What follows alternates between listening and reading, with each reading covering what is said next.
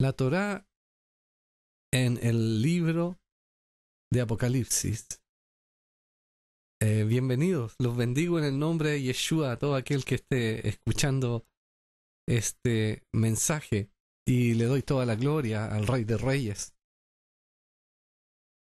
Comenzamos con una oración. Eh, Señor Yeshua, ponemos en tus manos este mensaje. Queremos que este sea un río de agua viva que nace y sale desde tu trono, tocando los corazones de todos nosotros y enseñándonos los misterios maravillosos que hay en tu palabra, enseñándonos acerca de ti. Te invitamos a que tú seas nuestro maestro, nuestro rabí. Te reconocemos solo a ti, tú Yeshua eres nuestro maestro. Y te pedimos que tú continúes eh, em, enseñando y expandiendo estas revelaciones en el corazón de cada uno de los que las escuchen, Señor, que toquen el corazón y que haya entendimiento para conocer tu verdad, la cual nos hace libre en esta época. Y a ti te damos toda la gloria y toda la honra en el poderoso nombre de Yeshua el Mesías. Bueno, quiero agradecerle públicamente a Yeshua por entregarnos su Torah y también por entregarnos el libro de Apocalipsis. Dos grandes revelaciones. Em, quiero em, hacer una pequeña como introducción a la Torah que creo es necesaria antes de, de seguir eh, adelante buscando la Torah en el libro de Apocalipsis. Debemos de saber qué es lo que es la Torah. Bueno, la Torah son los cinco primeros libros de su Biblia normalmente, son los que son llamados los libros de Moisés. Em, eh, Yeshua, el Señor, Elohim, llama a estos cinco primeros libros la Torah en el idioma hebreo. Ese es el idioma en el cual el Señor eh, la escribió y en el idioma hebreo el Señor llama a los cinco primeros libros de Moisés la Torah. No es un nombre inventado por el hombre, es un nombre dado por eh, Elohim, por el Todopoderoso, a los primeros cinco primeros libros de la Biblia. Por ejemplo, en Malaquías leemos, en el capítulo 4, del versículo 1 al 6, leo, Porque he aquí viene el día ardiente como un horno, y todos los soberbios y todos los que hacen maldad serán estopa, Aquel día que vendrá los abrazará, ha dicho el Señor de los ejércitos, y no les dejará ni raíz ni rama. Mas a vosotros, los que teméis mi nombre, nacerá el sol de justicia, y en sus alas traerá sanidad, dice el hebreo. Y saldréis, y saltaréis como becerros de la manada. Hollaréis a los malos, los cuales serán ceniza bajo las plantas de vuestros pies, en el día en que yo actúe, ha dicho el Señor de los ejércitos. Acordaos de la Torá de Moshe, esto es Moisés, mi siervo, al cual encargué en Horeb enseñanzas y leyes para todo Israel. He aquí yo os envío el profeta Eliau, Elías en castellano, antes que venga el día del Señor grande y terrible. Él hará volver el corazón de los padres hacia los hijos y el corazón de los hijos hacia los padres, no sea que yo venga y hiera la tierra con maldición. Aleluya. Bueno, este es un, un capítulo eh, bastante em, especial que habla de los tiempos del fin. Habla del día del Señor acá, el día del Señor en el cual el Señor juzga toda la tierra. Y es claro para todos que estos versículos que leí hablan del tiempo del fin. Pero lo que yo quiero recalcar aquí es que dice el versículo 4 de Malaquías 4, acordaos de la Torá de Moisés, mi siervo, al cual encargué en Joreb enseñanzas y leyes para todo Israel. O sea, el Señor está hablando de que viene el día ardiente como un horno, ¿ah? y que para nosotros nacerá el sol de justicia y traerá sanidad en sus alas y, y saldréis y saltaréis como becerros de la manada y huyaréis a los malos es claramente hablando de los tiempos del fin. Pero algo que menciona el Señor en estos tiempos del fin es la Torá de Moisés. Acordaos de la Torá de Moisés, mi siervo.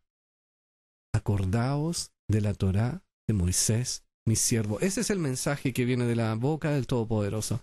Bueno, nos acordamos de la Torá. La Torá es un libro, se compone de cinco libros. Este libro fue escrito durante eh, los 40 años um, en que Israel estuvo en el desierto. Fue escrita por Moisés. Quizás eh, al final fue escrita por um, eh, que es Josué, puede haber sido, pero la Torah principalmente fue escrita por Moisés, no fue escrita en un día. Muchas veces dice este mandamiento que yo te doy hoy, no se refiere a que en un día fue escrita, sino es una forma de decir, la Torah se escribió a través de muchos años y no se recibió toda la Torah en un día.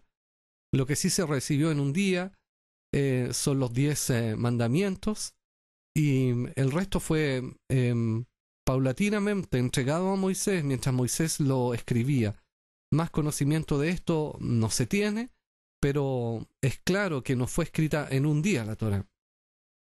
Entonces, en esta Torah es el lugar de su Biblia, que son los cinco primeros libros, es el lugar de su Biblia donde usted puede encontrar los mandamientos de Dios. Sí, en ese lugar se encuentran los mandamientos de Dios. Los mandamientos de Dios no están en los salmos, ni en las crónicas, ni en los libros de reyes, los mandamientos de Dios no están en los profetas. los mandamientos de Dios tampoco están en el nuevo, en lo que llamamos el nuevo pacto. Los mandamientos de Dios están en la Torah y son recordados a lo largo y a través de todas las escrituras, en los salmos, en los libros de reyes, en los profetas. En el nuevo pacto son recordados los mandamientos de Dios, pero están ellos en la Torah. Entonces esto debe quedar bien escrito en nuestros corazones.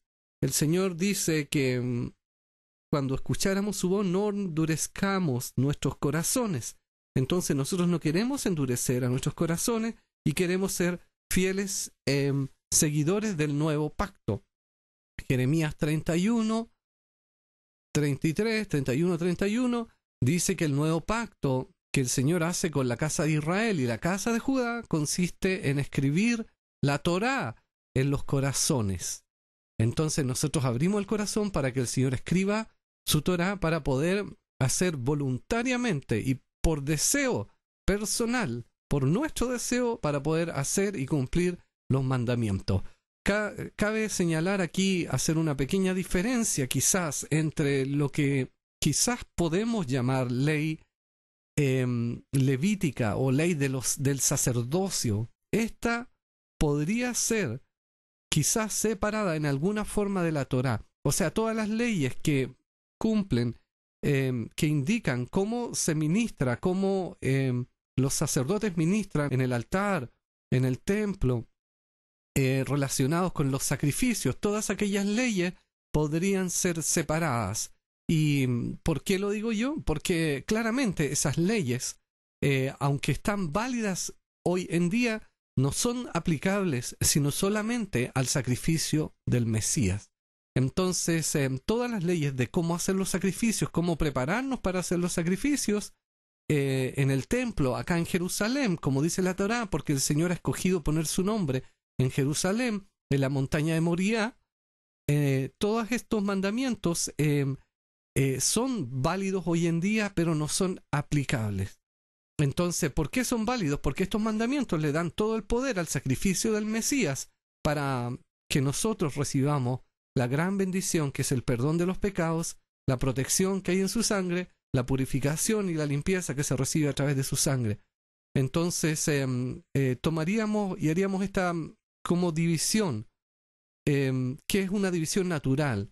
Es lo que está relacionado con el templo y con el servicio del altar, con el servicio del tabernáculo, y el resto de los mandamientos que son completamente aplicables para nosotros, como los actos eh, de inmoralidad prohibidos, como el establecimiento de qué cosas son alimentos o no, como los diez mandamientos, como los mandamientos de amor, acerca de cuando eh, tengamos una plantación, dejar las esquinas y no cosecharlas para dárselo al pobre, y una vez cada siete años dejar eh, la tierra descansar para que el pobre también pueda comer y para que la tierra se restaure. Entonces todos estos mandamientos están todos válidos, son todos verdad, pero solamente los de servicio del altar ya no serían aplicables en el sentido de que no tenemos que efectuar eh, y realizar el servicio del altar como se hacía antes para poder eh, recibir remisión y perdón de pecado y para eh, purificación o para protección, porque el sacrificio perfecto fue Yeshua, él vino a cumplir la Torah, como dijo él. Entonces esta sería la mm, introducción. En la Torah hay muchas em, historias eh, que todas ellas son proféticas y mm, se describe la historia del pueblo de Israel junto con los mandamientos, como la salida de Egipto, se describe desde la creación em, cosas em, eh, tan, tan importantes como la creación misma y los siete días de la creación. Y mm, existen también poemas y cánticos y existen situaciones eh, mientras Israel estaba en el desierto que son también historias proféticas y la vida de los patriarcas y existen también los pactos. Todos los pactos que mm, están todavía válidos, todos ellos, por supuesto, válidos, incluido por supuesto el nuevo pacto. Y la Torah entonces es un tesoro eh, para nosotros. Lo que puedo hacer aquí, y me siento guiado por el Espíritu a leerles en Josué 1.7, unos versículos muy conocidos, pero quizás hay un detalle acá que no se le ha dado la importancia de vida. Solamente esfuérzate y sé muy valiente para cuidar de hacer conforme a toda la Torah que mi siervo Moisés te mandó. No te apartes de ella ni a diestra ni a siniestra, para que seas prosperado en todas las cosas que emprendas. Este es eh, el Señor hablándole a Josué, son versículos muy conocidos, muy utilizados, muy hermosos, y el punto yo que quiero destacar, que es un detalle, es que mm, el Señor le está diciendo a Josué que se esfuerce y sea muy valiente para cuidar y hacer conforme a toda la Torá que mi siervo Moisés te mandó. De nuevo, hay que esforzarse para hacer y para mantener la Torá. La Torá trae bendiciones porque es un pacto que hicieron nuestros padres, que hizo Israel con el Señor. Trae bendiciones cuando se respeta y trae maldiciones cuando no se respeta. Entonces nosotros decidimos obedecer porque queremos las bendiciones. Y esto no tiene nada que ver con la salvación. No tiene nada, absolutamente nada que ver con la salvación, porque por gracia somos salvos. Tiene que ver con un corazón obediente y, y también, como dice Yeshua en Mateo 5, versículo 19. De manera que cualquiera que quebrante uno de estos mandamientos muy pequeños y así enseña a los hombres, muy pequeño será llamado en el reino de los cielos. Mas cualquiera que los haga y los enseñe, éste será llamado grande en el reino de los cielos. Entonces el Señor mismo, Yeshua, nos está incentivando a mantener la Torah. Entonces eh, creo que eh, esta es una buena base como para comenzar a buscar ahora a la Torah en el libro de revelaciones. Leo del libro de Apocalipsis, capítulo 1, versículo 9, 10 y la mitad del 11. Yo, Johanan, que es Juan, vuestro hermano y copartícipe vuestro en la tribulación, en el reino y en la paciencia de Yeshua, el Mesías, estaba en la isla llamada Patmos por causa de la palabra de Elohim y el testimonio de Yeshua el Mesías. Yo estaba en el Espíritu en el día del Señor y oí detrás de mí una gran voz como de shofar que decía, yo soy el Aleph y la Taf, el primero y el último. Entonces, eh, bueno, yo quiero explicar por qué eh, no ocupo la palabra eh, Dios que dice aquí, ocupo la palabra Elohim, porque mm, la palabra eh, Dios viene del griego y viene de un trasfondo pagano. También eh, yo digo shofar en vez que trompeta acá porque eso es lo que está escrito en el arameo original. Y también yo dije Aleph y Taf. Tenemos que imaginarnos esta situación. El hermano y apóstol Johanan, Juan, está en la isla de Patmos y entra en visión, en esta tremenda visión que es la visión del libro de Apocalipsis. Y cuando entra en la visión, él ve al Señor, ve a su Mesías. Y recordemos que Johanan es un judío. Sí, es un judío que hablaba el idioma eh, arameo o hebreo de aquellos tiempos y que habló con su maestro, con Yeshua, en arameo y en hebreo en esos tiempos y que por supuesto oraba en hebreo y arameo. Ese era el lenguaje que ocupaba Yohanan, siendo Yehudí, siendo judío. Usted sabe que hay un historiador que se llama Josefo, que mm, es, que es un historiador eh, judío, y en una de sus crónicas él relata que mucho se esforzó por aprender el idioma griego y no pudo hacerlo por ser tan, tan complicado y tan difícil. O sea, el poder em, eh, hablar y escribir en griego más todavía es algo que no era fácil, sobre todo para simples discípulos del Señor que eran pescadores o gente trabajadora. Entonces, em, ahora imaginémonos que está Juan, el judío, y que se le aparece el Mesías judío a Juan. Entonces, cuando hablan los dos, hablan en el idioma de los judíos, ya sea arameo, el idioma común, o ya sea el hebreo, el idioma santo, pero no hablan en un idioma pagano, como es el griego.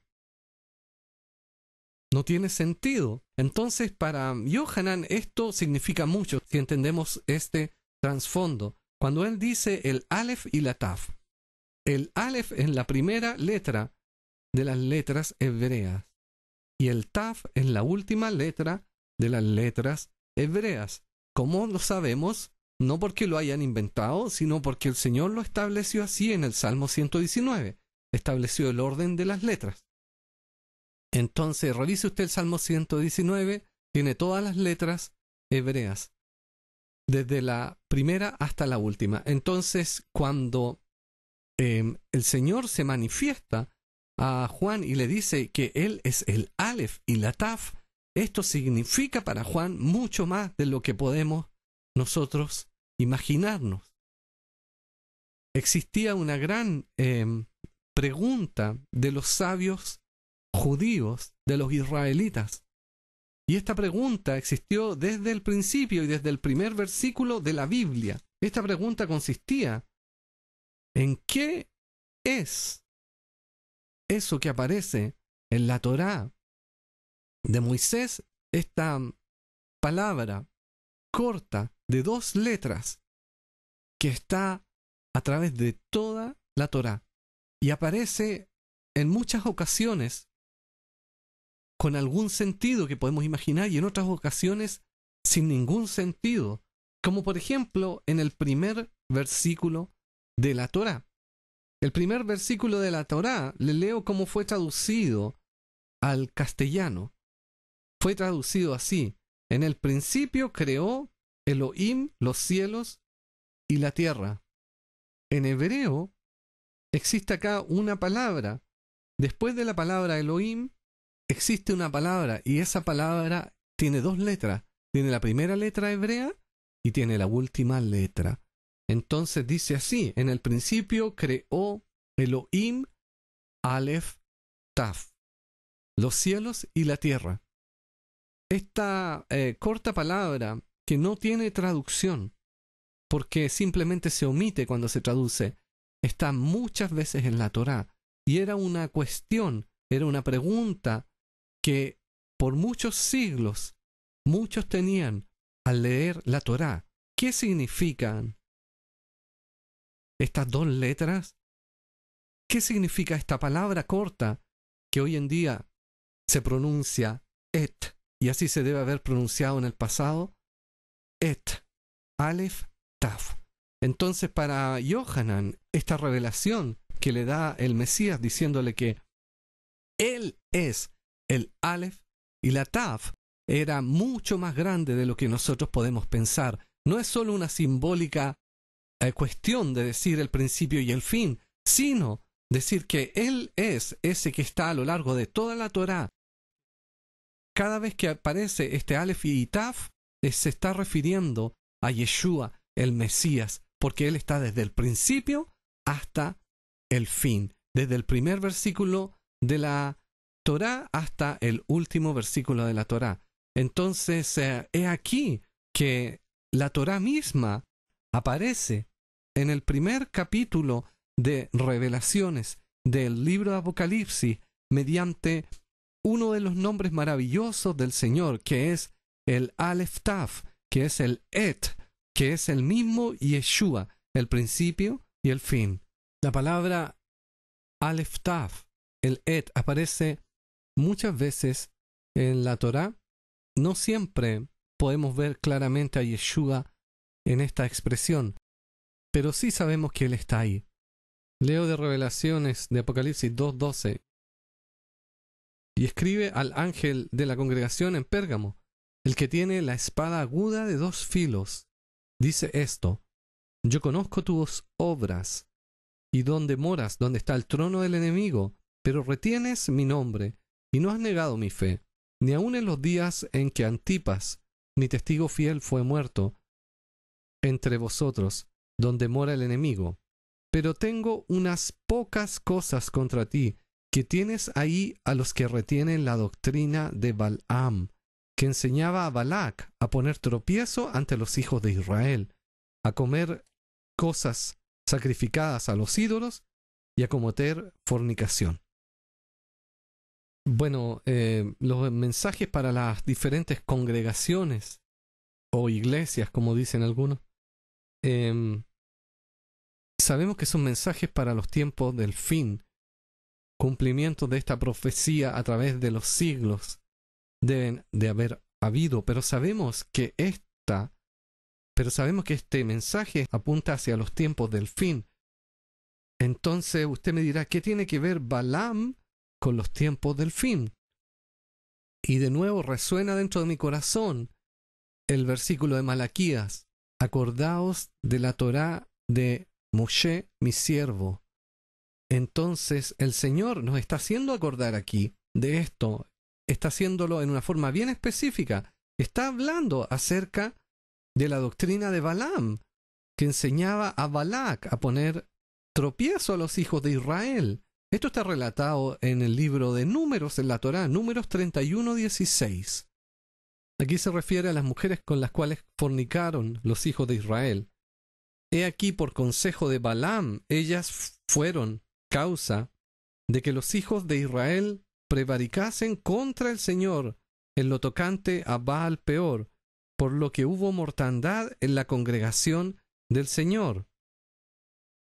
Este Balaam era un profeta, era un profeta que profetizaba eh, por dinero. Y en números 22 voy a leer para dar una introducción para que podamos entender en qué consiste o a qué se refiere eh, Yeshua y qué tipo de doctrina él no tolera y no acepta y qué tipo de doctrina debe desaparecer de las congregaciones hoy en día.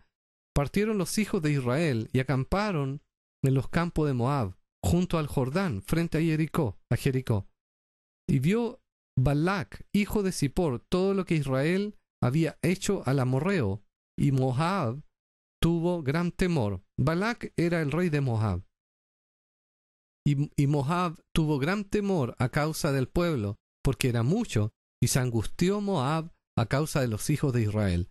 Y dijo Moab a los ancianos de Madián, Ahora lamerá esta gente todos nuestros contornos como lame el buey la grama del campo. Y Balac, hijo de Zippor, era entonces rey de Moab. Por tanto, envió mensajeros a Balaam, hijo de Beor, a Balaam, que sería el profeta, este profeta por dinero, y hechicero también, hacía hechicerías y de este tipo. En Petor, que está junto al río, en la tierra de los hijos de su pueblo, para que lo llamasen, diciendo, un pueblo ha salido de Egipto, y aquí cubre la faz de la tierra, y habita delante de mí. Ven pues ahora, te ruego, maldíceme este pueblo, porque es más fuerte que yo. Quizás yo pueda herirlo y echarlo de la tierra, pues yo sé que el que tú bendigas será bendito y el que tú maldigas será maldito. Fueron los ancianos de Moab. Entonces el rey le pide ayuda a este hechicero, a este profeta por, um, que profetiza por sueldo y hace trabajos eh, de hechicería, de maldición, que es Balaam. Entonces lo manda a llamar para que maldiga al pueblo y, que quizás de esa forma eh, Balak tendrá la victoria en contra de los hijos de Israel, ya con mucho temor a esta altura. Entonces, em, eh, no voy a leer todos los capítulos siguientes, pero em, al fin eh, lo que sucedió fue que Balaam no pudo maldecir a Israel, sino que el Señor hizo que le salieran bendiciones y bendijo a Israel varias veces, mientras em, el rey Balak esperaba que éste maldijera a Israel.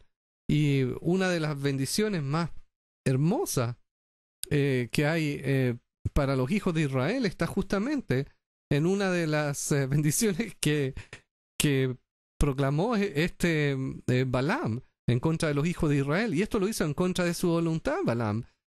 O sea, al parecer era en contra de su voluntad porque él se paró enfrente en una montaña mirando a todos los hijos de Israel y el Señor le dijo que no lo iba a dejar decir nada, que, que dijera solamente lo que el Señor le decía. Entonces el Señor dijo bendiciones y proclamó bendiciones sobre Israel y Balaam las proclamó, aunque no era el deseo de su corazón.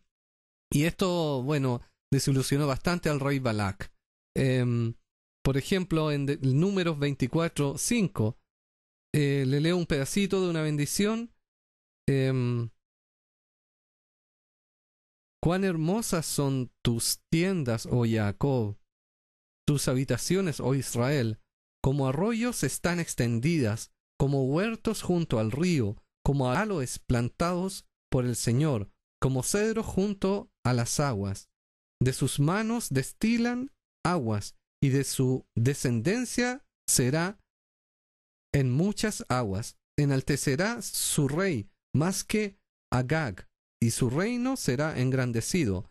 Elohim lo sacó de Egipto, tiene fuerzas como de búfalo, devorará a las naciones enemigas, desmenuzará sus huesos y los traspasará con sus saetas, se encorvará para echarse como león y como leona. ¿Quién lo despertará? Benditos los que te bendijeren y malditos los que te maldijeren. Tal como dijo a Abraham el Señor, bendeciré a los que te bendijeren y maldeciré a los que maldijeren. Esta proclamación y esta bendición y esta, em, ¿cómo le llamaría yo? Y esta ley espiritual que el Señor ha establecido sobre Israel es que bendecido será el que bendijere a Israel y maldecido el que maldijere a Israel. Entonces, em, esto hay que tomarlo en serio, hermano, y debe ser el anhelo eh, de nosotros que todos comprendan esto, porque el Señor tiene bendiciones para los que bendicen a Israel, pero para aquellos que tienen em, un espíritu contrario a Israel o anti-israelita o antisemita o que odian a los judíos, entonces eh, el Señor va a poner maldición sobre ellos, porque esta es una ley eh, espiritual que no se puede borrar, que no se puede destruir. Entonces, no hay que creerle a las noticias, a la prensa, al, a la media, no hay que creerle, sino creer lo que el Señor está diciendo acerca de Israel, porque el enemigo está muy esforzado para que todos los hijos de Elohim odien a Israel, para así poder maldecirlo. ¿Lo logra entender, hermano? De la misma forma que el enemigo está muy esforzado y se esfuerza para que no se mantenga la Torah, para poder tener maldiciones en contra de los hijos de Elohim de todos los que aman al Señor. Y de esta forma el enemigo puede atacar con libertad, ya que la Torah misma se lo permite. Entonces, em, el, la historia de Balaam termina justamente en que le da el consejo Balaam al rey Balak de que al pueblo de Israel lo seduzca con sus eh, mujeres y se mezclen estos dos pueblos. O sea, la intención era mezclarlo para que pudiera em, Israel eh, profanarse y fornicar con las hijas de Moab y también con sus dioses. Y así sucedió y esto causó realmente una mortandad entre los hijos de Israel. Bueno, ¿qué tiene que ver esto conmigo hoy en día? dice usted.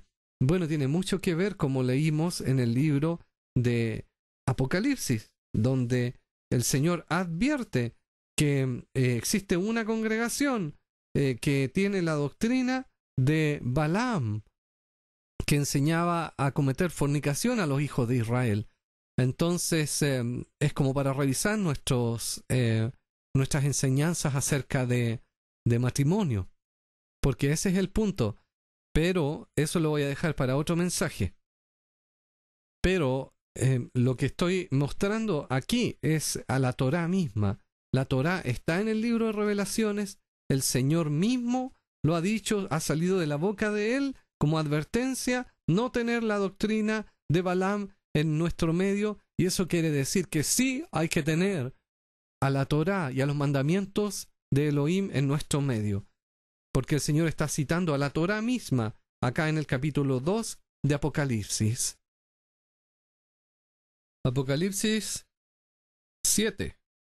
Después de esto vi a cuatro ángeles en pie sobre los cuatro ángulos de la tierra, que detenían los cuatro vientos de la tierra, para que no soplase viento alguno sobre la tierra, ni sobre el mar, ni sobre ningún árbol.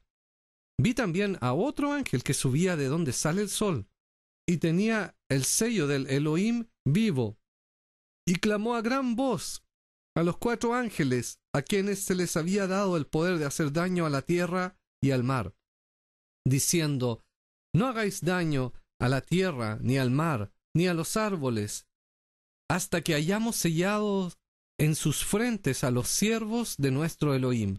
Y oí el número de los sellados, ciento cuarenta y cuatro mil sellados de todas las tribus de los hijos de Israel.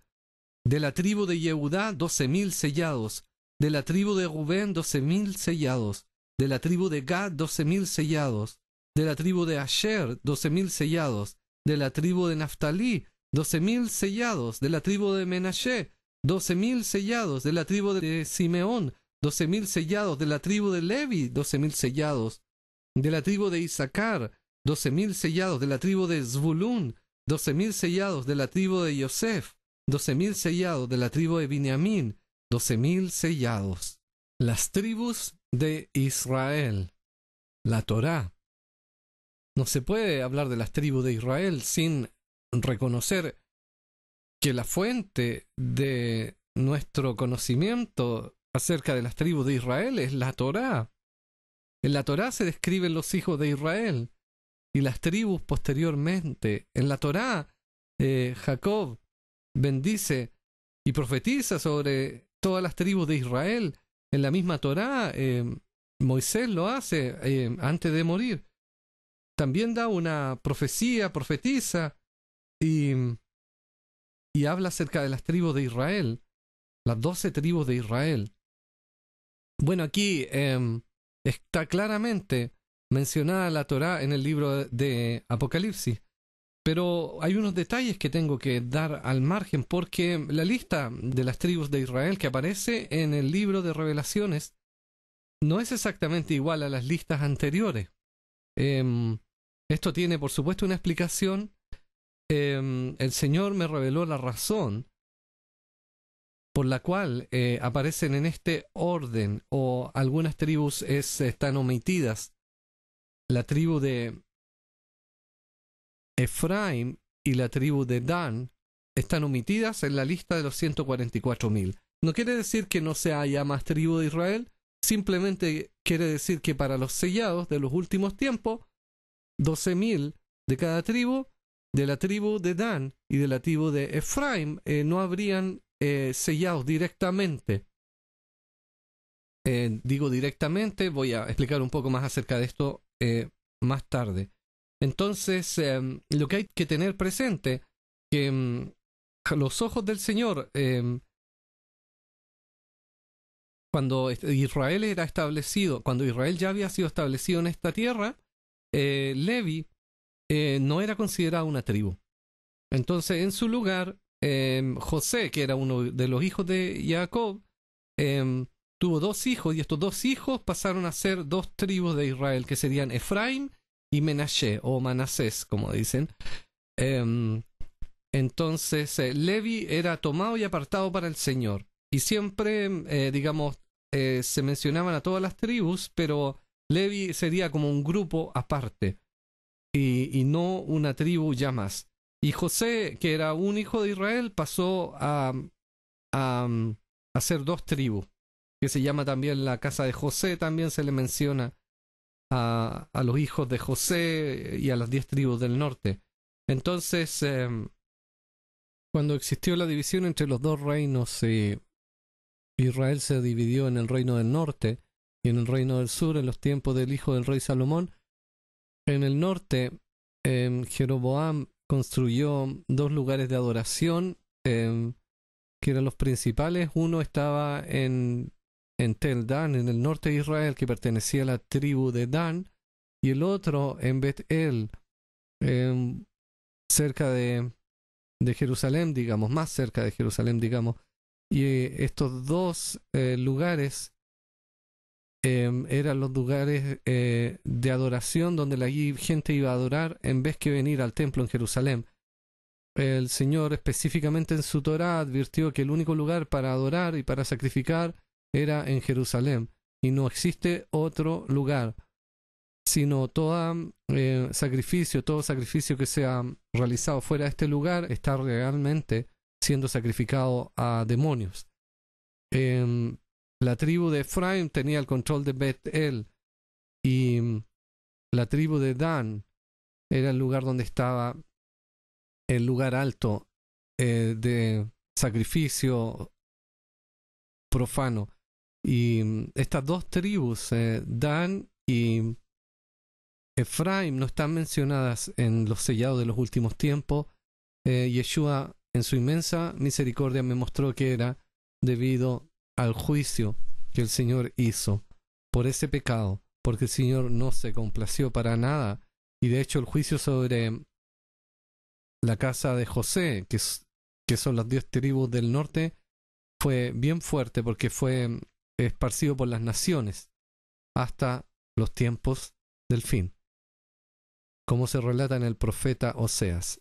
También el Señor me mostró en su gran misericordia que el sello eh, de los em, de los 144.000 es, em, es la Torá. Porque em, una cosa que quizás no he dicho es que la Torá es Yeshua mismo, porque Él es la primera y la última letra. Él es la palabra de Elohim. Y la Torah es eh, Yeshua y es eh, viva, es la Torah está viviente porque Yeshua vive. Em, entonces, em, el sello de los 144.000 eh, no es algo nuevo, sino que es algo que siempre estuvo, que es el mantener los mandamientos de Elohim, el mantener la Torah. Y esto brinda protección sin igual en contra de nuestros enemigos, en contra de enfermedades. Eh, existen tantas promesas en la Torá que son sobrenaturales. El Señor dice que va a apartar toda enfermedad de nuestro medio eh, si mantenemos sus mandamientos y que va a bendecir en, en forma maravillosa, como dice Deuteronomio 28, em, en que nuestros enemigos van a huir de nosotros por un camino vendrán contra nosotros, por siete caminos arrancarán. Todas estas promesas son eh, la protección necesaria para los eh, sellados, aquellos que, que van a ser sellados o que ya han sido sellados, para poder eh, ministrar en los tiempos del fin. Em, como dice en Revelaciones 14, después de esto, y he aquí, el Cordero estaba en pie sobre el monte de Sión, y con él ciento cuarenta y cuatro mil que tenían el nombre de él y el de su padre escrito en la frente. Ahora, mm, yo le quiero comentar aquí que en el arameo dice el nombre de él y el de su padre escrito entre los ojos. ¿Y por qué dice entre los ojos? Una vez más encontramos a la Torá en el libro de Apocalipsis, porque en Deuteronomio 6.4 Deuteronomio es uno de los libros de la Torá. Si es que no lo había dicho antes, espero que sea claro. En Deuteronomio 6.4 dice, Oye Israel, el Señor vuestro Dios, el Señor uno es, y amarás al Señor, tu Elohim, de todo tu corazón y de toda tu alma, y con toda tu fuerza. Y estas palabras que yo te mando hoy estarán sobre tu corazón, y las repetirás a tus hijos, y las repetirás a tus hijos, y hablarás de ellas estando en la casa y andando por el camino y al acostarte y cuando te levantes y las atarás como señal en tu mano y estarán como frontales entre tus ojos y las escribirás en los postes de tu casa y en tus puertas estarán como frontales entre tus ojos. El arameo dice en Apocalipsis 14, versículo 1, que tenían el nombre de él y el de su padre entre sus ojos. Entonces es exactamente lo mismo, porque el nombre, esta frase le parece conocida, ¿no? Como Yeshua dijo, el nombre del Padre. Id y bautizad en el nombre del Padre, id del Hijo y del Espíritu Santo. Este es un solo nombre les he dado a conocer tu nombre, el nombre del Padre. He manifestado tu nombre, el nombre del Padre. Guárdalos en tu nombre que me has dado a mí. El nombre del Padre lo recibió Yeshua. Yeshua vino a manifestar el nombre del Padre. Entonces, Yeshua es el nombre del Padre y es el nombre del Hijo y es el nombre del Espíritu Santo. Yeshua es el nombre por sobre todo nombre, porque no hay otro nombre bajo el cielo dado a los hombres por el cual podemos ser salvos. Y es a través de su nombre que recibiríamos perdón de los pecados. Entonces, eh, su nombre es también Torah. Yeshua es la Torah. ¿Lo puede ver, hermano? Y es esta Torah, es el nombre de Yeshua, es el sello del Dios viviente que está escrito entre nuestros ojos. No es físicamente. Pero este nombre de Yeshua, que es la Torah misma, lo tenemos presente. Y esto es lo que sella a los santos de los últimos tiempos. No el simplemente tener una marca incluso espiritual entre medio de los ojos, sino el mantener los mandamientos de la Torah, los mandamientos de Elohim, al mantener los mandamientos de Elohim, quiere decir que tenemos aquí entre medio de nuestros ojos a la Torá, porque la mantenemos y meditamos en ella día y noche, como lo hacía David, el siervo del Señor. Acordaos de la Torá de Moshe, mi siervo. Dice la palabra. Esfuérzate y sé valiente en mantener los mandamientos de la Torá. Dice la palabra. Entonces, este es el sello del Dios viviente este es el sello de los 144.000. Después el capítulo 14 de Revelaciones. Habla de muchas cosas, pero el versículo 12 quiero hacerle hincapié. Dice así, aquí está la paciencia de los santos, los que guardan los mandamientos de Elohim y la fe en Yeshua. Sí, querido hermano, ¿es usted un santo de los últimos días? Aquí está la paciencia de los santos, los que guardan los mandamientos de Elohim. ¿Dónde están los mandamientos de Elohim? Los mandamientos de Elohim están en la Torá. Y la fe en Yeshua, dos cosas que parecían y que por tradición y por religión parecían irreconciliables. Los mandamientos y la fe en Yeshua. Pero este es el sello del Dios viviente y de sus santos de los últimos tiempos. Ahí está la Torá, en guardar los mandamientos de Elohim. Y en el capítulo 12 de Revelaciones aparece una gran señal en el cielo, una mujer vestida de sol, con la luna debajo de sus pies, y sobre su cabeza una corona de dos estrellas, y estaba encinta y clamaba con dolores de parto, en angustia del alumbramiento. Y apareció un dragón que quería devorarse a este niño, el cual dice, va a gobernar las naciones con vara de hierro, dice. Versículo 5, y ella dio a luz un hijo varón que regirá con vara de hierro a todas las naciones, y su hijo fue arrebatado para Elohim y para su trono, y su hijo fue arrebatado. Y este hijo regirá con vara de hierro a todas las naciones. Apocalipsis 2:26 Al que venciere y guarde mis obras hasta el fin, yo le daré autoridad sobre las naciones y las regirá con vara de hierro y serán quebradas como vaso de alfarero, como yo también la he recibido de mi Padre. Entonces este niño que nace de la mujer, con vara de hierro, regirá a todas las naciones. Y la descendencia de esta mujer, versículo 17, entonces el dragón se llenó de ira contra la mujer, contra la mujer, y se fue a hacer guerra contra el resto de la descendencia de ella. ¿Cuál es la descendencia de la mujer? Los que guardan los mandamientos de Elohim y tienen el testimonio de Yeshua, el Mesías. Una vez más, la Torá está en el libro de revelaciones, los mandamientos de Elohim, esos mandamientos que tanto amamos y tanto meditamos en ellos día y noche. Bueno, ahora leemos de Apocalipsis 15, del 1 al 3. Vi en el cielo otra señal grande y admirable, siete ángeles que tenían las siete plagas postreras, porque en ellas se consumaba la ira de Elohim.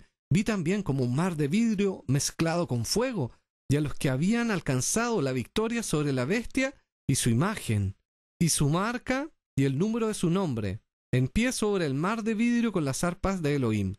Y cantaban el cántico de Moshe, siervo de Elohim, y el cántico del Cordero, diciendo, Grandes y maravillosas son tus obras, Señor Elohim Todopoderoso, justos y verdaderos son tus caminos, Rey de los santos. Bueno, hay dos cosas que tengo que destacar acá. Y cantaban el cántico de Moisés, de Moshe. ¿Dónde aparece el cántico de Moshe? Aparece en la Torá, en el libro de Deuteronomio, capítulo 32. Voy a leer parte del cántico de Moisés. Entonces habló Moshe a oídos de toda la congregación de Israel las palabras de este canto hasta acabarlo. Escuchad cielos y hablaré, y oiga la tierra los dichos de mi boca. Goteará como la lluvia mi enseñanza, destilará como el rocío mi razonamiento, como la llovizna sobre la grama, y como las gotas sobre la hierba, porque el nombre del Señor proclamaré, engrandeced a vuestro Elohim. Él es la roca cuya obra es perfecta, porque todos sus caminos son rectitud, Elohim de verdad, y sin ninguna iniquidad en él. Es justo y recto, la corrupción no es suya, de sus hijos es la mancha generación torcida y perversa. Así pagáis a Elohim, pueblo loco e ignorante. ¿No es Él tu Padre que te creó? Él te hizo y te estableció. Acuérdate de los tiempos antiguos. Considera los años de muchas generaciones. Pregunta a tu Padre, y Él te lo declarará. A tus ancianos, y ellos te lo dirán. Cuando el Altísimo hizo heredar a las naciones, cuando hizo subir, cuando hizo dividir a los hijos de los hombres, estableció los límites de los pueblos, según el número de los querub de Elohim.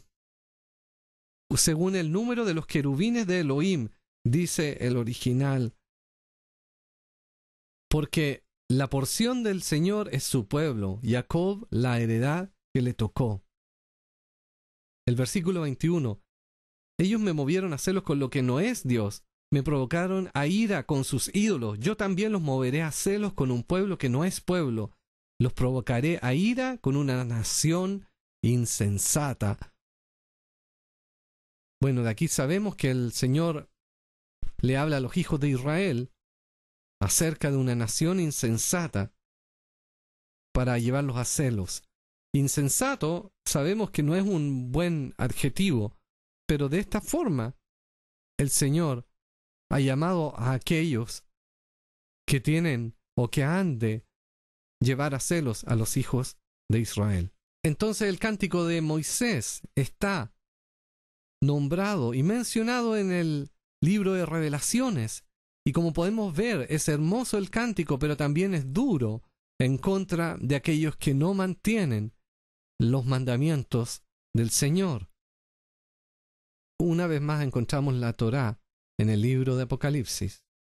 Cuando dice, por ejemplo, en el versículo 14.1, después miré, y aquí el Cordero en pie sobre el monte de Sión, recordemos que Cordero, Cordero de Elohim, como fue llamado Yeshua por Yohanan el Bautista, es un concepto que viene de la Torá. En la Torá se habla de Cordero, de, en hebreo se dice Hase, el Cordero, Hase, a Elohim, el Cordero de Elohim. Y este concepto es acerca de sacrificios.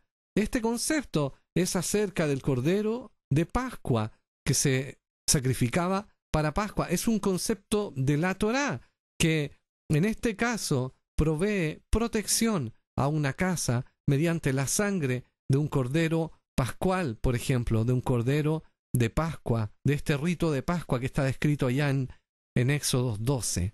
Entonces el concepto cordero también está relacionado con la Torá. De hecho, no existiría poder en la sangre del cordero de Elohim si no fuera por la Torá.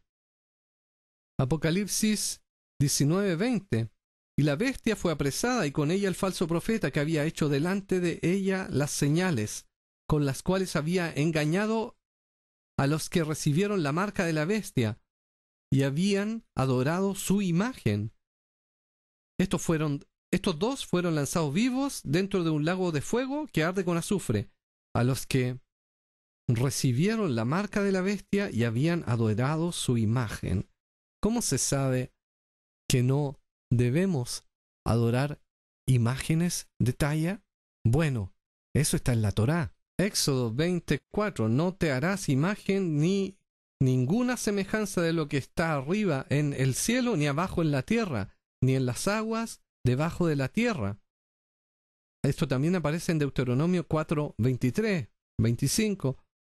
No te inclinarás a ellas, ni las honrarás, porque yo soy el Señor tu Elohim, fuerte, celoso, que visito la maldad de los padres sobre los hijos hasta la tercera y cuarta generación de los que me aborrecen.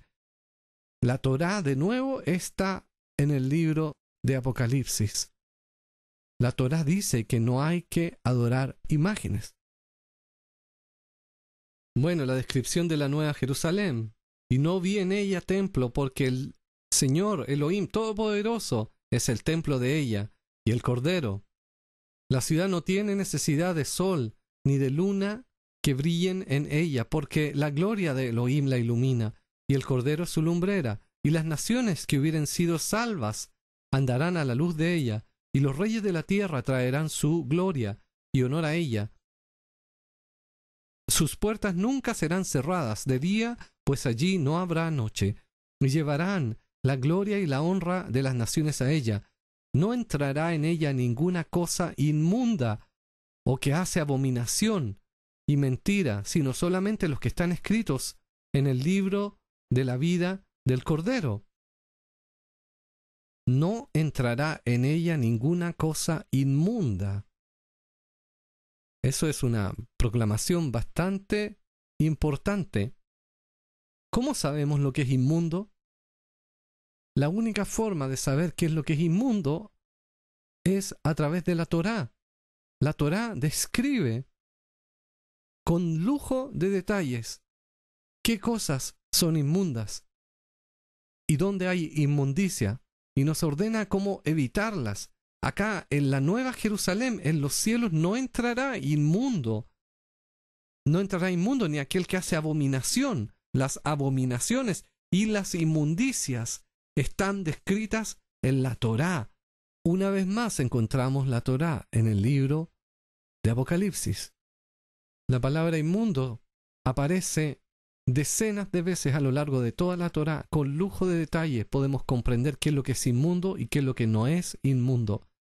Al mismo tiempo que comprendemos que al mantener los mandamientos del Señor, entonces somos santos, porque el Señor es santo y quiere que nosotros seamos santos.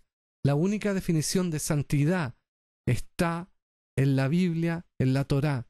La Torá nos enseña cómo ser santos, cómo ser puros, para poder entrar en la ciudad santa y pura.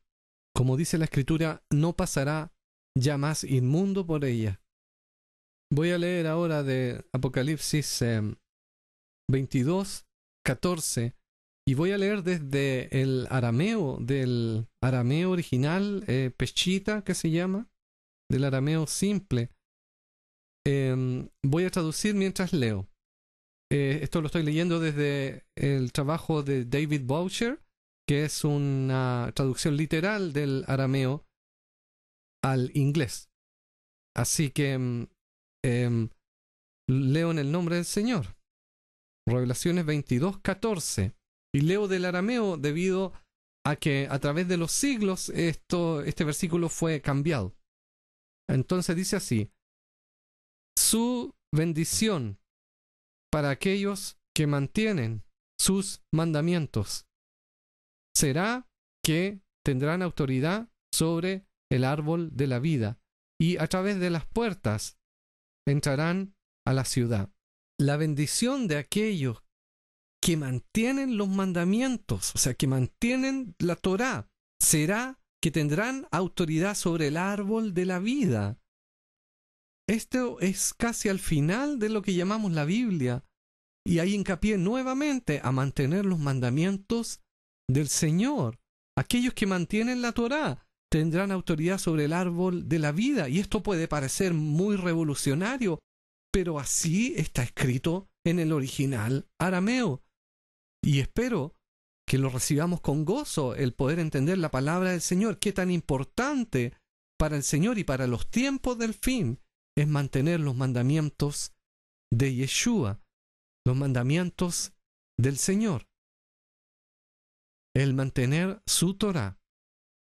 Y la última advertencia que hace al final, si alguno añadiere a estas cosas, leo de Apocalipsis 22, 18, si alguno añadiere a estas cosas, Elohim traerá sobre él las plagas que están escritas en este libro. Y si alguno quitare de las palabras del libro de esta profecía, Elohim quitará su parte del árbol de la vida, dice específicamente el arameo, y, y de la santa ciudad, y las cosas que están escritas en este libro.